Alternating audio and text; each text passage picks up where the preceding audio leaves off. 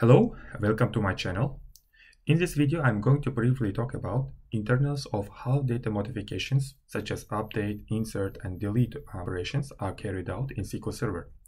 SQL Server does not read or modify data rows directly on the disk. Every time you access data, SQL Server reads it into memory. Let's see how it is done. First, let's assume that the transactions started and it is updating one row in SQL Server. If the page 1 where this row is located is not in buffer pool, the page is firstly moved from disk and placed to buffer pool.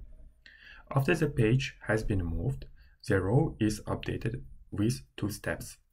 First step involves changing uh, the record in transactions synchronously. Transaction does not finish unless this change is recorded to transaction log. In the second step, row is modified in memory buffer pool and marked as dirty. After the second step, transaction finishes and a user is returned an update success. As you might have paid attention, the updated page is not saved yet to disk. Why? The main reason is writing to disk causes latency. If we finish transaction after writing to disk, transaction takes a long time to finish, causing bad user experience. To prevent this latency, updated data page is written to disk in background asynchronously. Two processes are responsible for moving updated page to disk. Checkpoint first and lazy writer.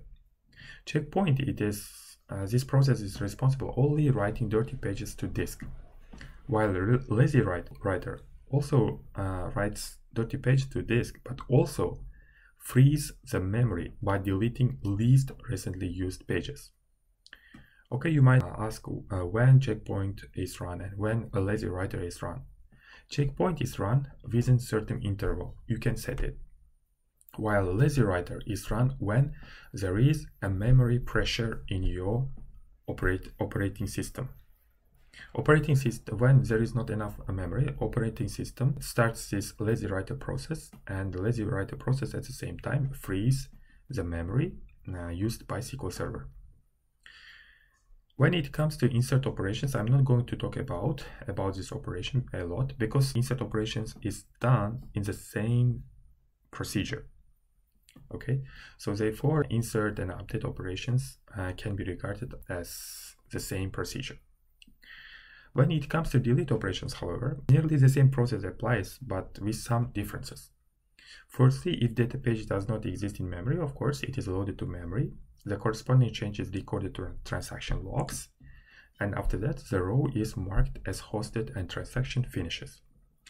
In the background, a process called ghost cleanup clears the ghost pages okay?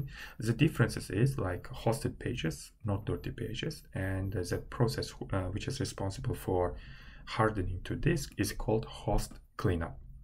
Okay? To summarize this video i want to point out some takeaways. Before any modification page is loaded to memory and modifications are recorded to disk synchronously. What I mean is transactions does not finish until certain this change modification record is transferred to log record.